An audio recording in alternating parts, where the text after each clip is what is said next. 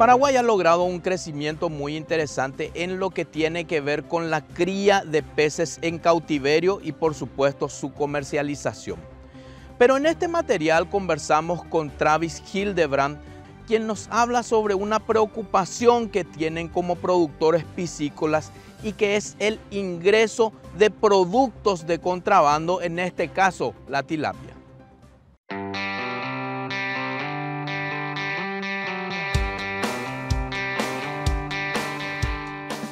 Comercializar el pescado no es fácil, tiene todo un trabajo, un proceso que es bastante complicado porque el pescado una vez que pierde la cadena de frío ya al volverse a congelar ya no después no sirve más. Entonces, y el principal problema es eh, contrabando, como en varios otros rubros eh, la tilapia viene de Brasil bastante, en la frontera con Brasil, y también suele venir de Ecuador y últimamente vino algo de China también. Eh, y el pacusi viene de, de, Argentina bastante. Travis Hildebrand nos comentó sobre un momento complicado que les tocó pasar como productores e industrializadores de carne de pescado debido al ingreso de productos desde China. Sí, realmente hace un tiempo atrás nos llegó la información que vino producto de China, entró todo legal, la competencia siempre es buena, ¿verdad? pero eh, en ese caso nos enteramos que eh, con validez de un año seis meses y a nosotros nos dan eh, seis meses nomás de validez de nuestros productos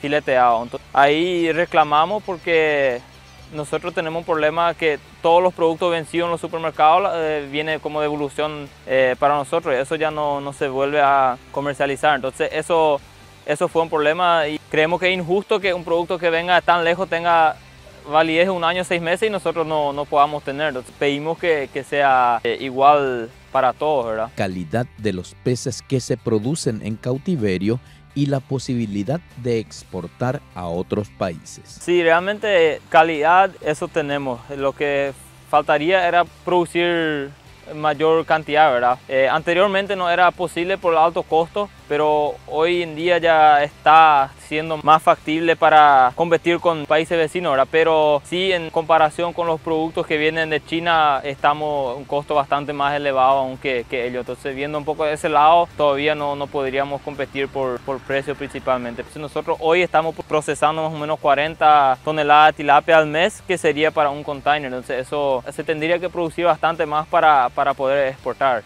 Estuvimos analizando justamente el año pasado y los países principales serían Estados Unidos, España eh, y algunos otros países de Europa. Sería Brasil algo, pero Brasil produce bastante, entonces ahí no sería tanto. Pero el principal problema es que desde China viene a un precio bastante más, más barato porque ellos producen en, en, el mar, entonces su costo de producción es bastante más barato. Por ejemplo, que acá está a 7 dólares, allá eh, ellos venden a, a 2 dólares nomás prácticamente.